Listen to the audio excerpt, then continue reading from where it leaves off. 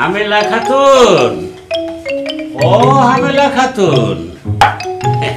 আপনি আবার পাক করেছেন যান যান আমি নাস্তা লয়ে যেতেছি আমি নাস্তা খাবার জন্য পাকঘরে আসি নেই। আমি আইছি আপনি যে পরিমাণ তেল দিয়ে পরোটা ভাজতেছেন তাতে তো আমি দুই দিনেই ফকির হয়ে যাব। হ্যাঁ দেখি। হায় হায় হায়। আরে পরশু দিন আনলাম এক কেজি তেল। এর মধ্যে অর্ধেক করে ফেলাইছেন। আমি তো মাসে দুই কেজি বেশি স্যাংশন দিবার পারব না।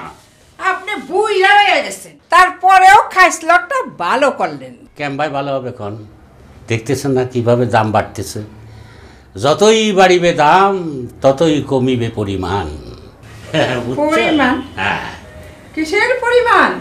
তেল। কিসের পরিমাণ দেখান আপনি? হ্যাঁ? তেল। মানুষ কি বাড়িতে কইমা গেছে গা?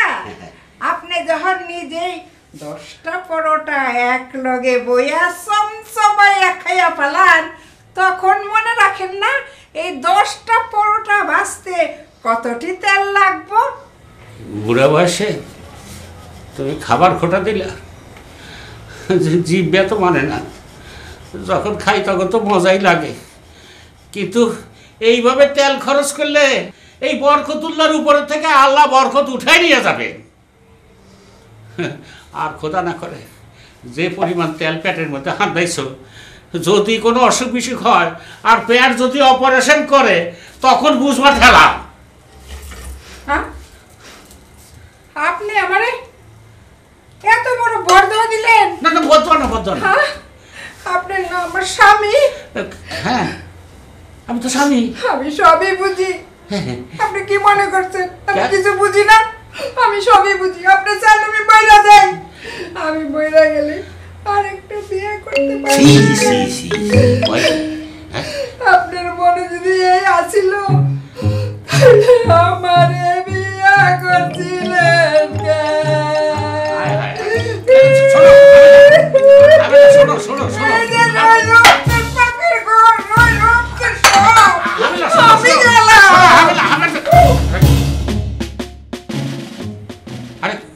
কইলাম আর কি বুঝলো?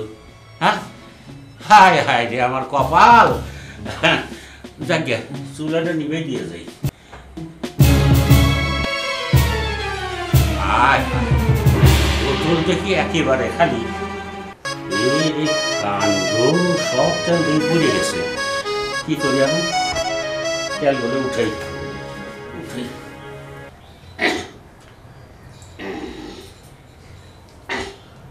হামেলা খাতুন। হামেলা খাতুন। আমি কিন্তু না খাইয়েই অফিসে যাইতেছি।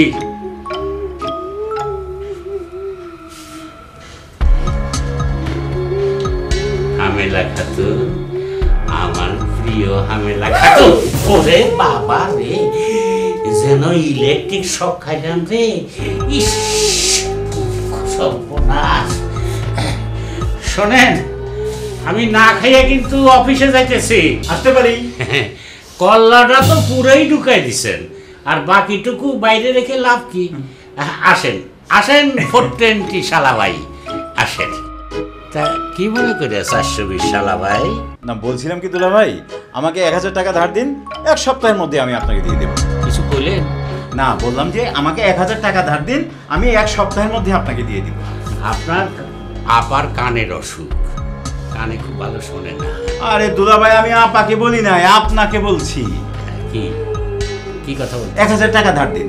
অত টাকা তো আমার কাছে নাই। অত নাই? হুম তাহলে কষ্ট হবে। আচ্ছা পাঁচশো টাকায় দিন। আমার কাছে মাত্র ষাট টাকা আছে। ইয়ে, তাহলে দুলা ভাই দশ টাকা আপনার খরচের জন্য রেখে পঞ্চাশ টাকা আমাকে দিয়ে দিন। পঞ্চাশ টাকা হ্যাঁ। আমি আবার এই ধার নিচ্ছি দিয়ে দেবো তো। এই খবরদার এই কথা কবেন?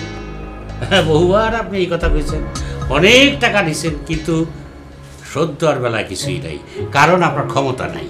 আমি আপনাকে দশটা টাকা দিতে পারি। হ্যাঁ?